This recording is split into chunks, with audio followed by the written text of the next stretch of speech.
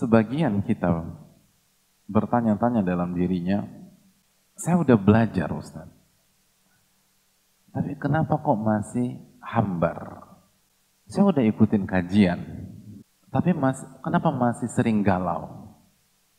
Masih sering kena mental? Masih sering terpuruk? Apa yang salah? Katanya kalau kita punya ilmu, bisa. Hadirin, yang Allah muliakan. Berarti ada yang perlu kita pahami lebih dalam. Ada yang perlu kita renungkan lebih lanjut. Saya akan bacakan keterangan salah satu para ulama biar kita langsung mendengar dari ahlinya. Disampaikan oleh salah satu ulama yang bernama Syekh Saleh Al-Utsaimin hafizahullahu taala. Beliau menyampaikan walaisal muradu bil ilmi alladhi yuhjabu anha idrakal masail.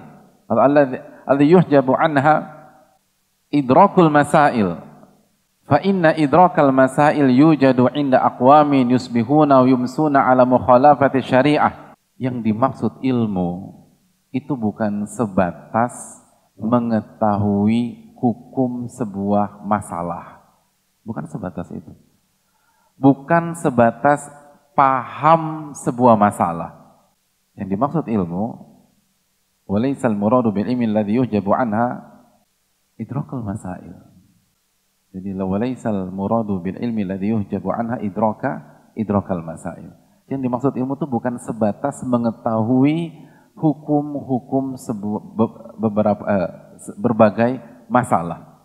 Tapi yang dimaksud dengan ilmu walakinnal murada bil ilmi alladhi yunalu bi ta'zimil ilm wal ilmu nafi' alladhi yakunu khairan lil abdi fid dunya wal akhirah namun yang dimaksud dengan ilmu yang bisa membuat kita bahagia, yang membuat kita bisa tenang adalah ilmu nafi', ilmu yang bermanfaat.